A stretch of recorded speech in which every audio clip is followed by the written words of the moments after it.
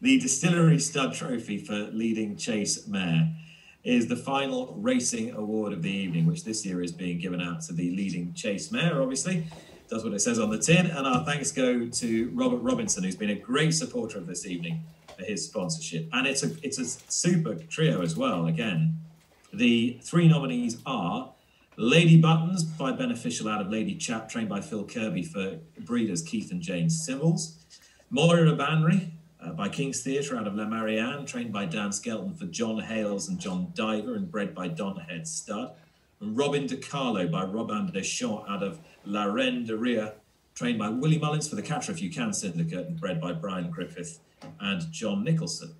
And the winner of this award, and it's not the first time she's been garlanded on this evening, is Lady Buttons by Beneficial out of Lady Chap, owned and bred by Keith and Jane Sivills. What an amazing mare she is. Eight wins from 21 starts over hurdles, five wins from seven steeplechase starts, officially rated 150 in both disciplines, and won what was probably the best mares only steeplechase run in Great Britain ever at Doncaster when she beat Happy Diva La Bague Au Roi and Casablanca Mix, and she did so handsomely as well. Add that to her listed victory over hurdles at Wetherby.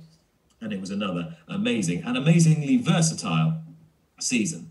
And I'm hoping that Keith and Jane are going to join me now to talk about her extraordinary exploits and what might be upcoming for Lady Buttons, who's one of the most popular horses in training. And I think her popularity only became more um, pronounced during the last National Hunt campaign, and a shame that she wasn't able to run one or two more times. And look at that wall of honour behind Jane Sivills. Is every single one of those Lady B, Jane? Oh, you're still muted. Hang on, hang on. Let's just uh, let's just get you let's just get you full voice, and then uh, and then we'll be able to hear you. Just a little um, red microphone there down the bottom left hand corner of the screen. There we go. Is that better? We on? Wait, we got you. We've got you. Well done, Jane. I was just saying, all those pictures behind you, are they all lady buttons? Not all lady buttons, no. We, I have in the conservatory every time we have a winner uh, from day one. I just have a picture at the back, but a lot of them are lady buttons. I think fifteen. Oh, that's just, just tremendous. She's just been such a wonderful man. We seem to speak every year. Yeah, Every I know. year. I'm getting quite a collection now. I think, well, am I asking too much to think she could come come around and do it all again? And every year she comes out and she almost gets better still. It's it's remarkable what she's achieved. Last year we thought we were going to retire her, but she had such a good season, and we were hoping to go to Aintree, but obviously with COVID that didn't happen. Uh, so we thought we'll just give her another try this season. If she tells us that she's had enough, well, so be it. She owes us nothing. But um, we're heading for Wetherby on the, I think it's the 31st of October, first race. Is that the same race you won last year? Yes, it is, yeah.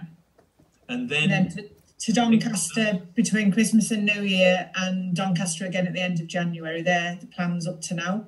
so is it hurdle hurdle? Is that hurdle hurdle chase or hurdle chase hurdle? It's something like that. Hurdle, yeah, hurdle chase, hurdle, I think, yeah.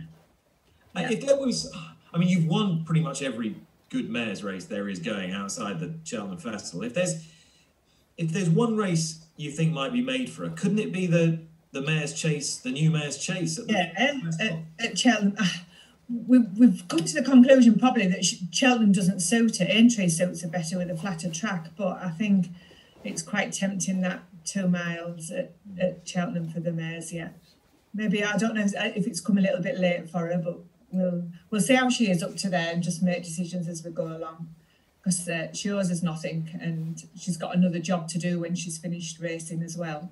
Yeah, and that's going to be a pretty important job for her as well. And I mean, you bred her, which obviously gives you you twice twice the pleasure. Yeah, that's right. It's like Doug said earlier with honeysuckle. You live in the dream. We never ever thought at our level that we'd we'd have a horse like her. Just never ever. And the the following that she's got, like the people's horse, everybody knows about. I I own the village pub, and I was in there on Sunday at work, and this lady and gentleman came in and said. We've called here at the Tiger because we've seen it on the telly, and the owner of Lady Buttons as the pub, and they'd called on, on the off chance that we'd be there. And it, it's things like that. You just, you know, it, it's beyond imagination. And she she's had a good break. Has she? She's enjoyed it. She does she Yeah. does she She's rest co- well or does she? Rest, yeah, rested well. Um, come back as good as ever. Phil's really pleased with her. Keith was up at the yard today. Said she looks absolutely magnificent. She's in as good a form as ever at, at home. So, touch wood that she'll take it to the track again. Well, that's fantastic to hear, Jane, and, and many congratulations again. She's a wonderful mare. She's a great credit to you, and it's super to hear that she's she's rolling around to delight us all one more time. Roll on Wetherby at the end of October. Yeah. the scarves will be out in force, no doubt. Great stuff. Congratulations. Thank you. Thank you very much, Jane Sivills, who with husband Keith owns and bred, of course, Lady Buttons, one of the most popular horses in training.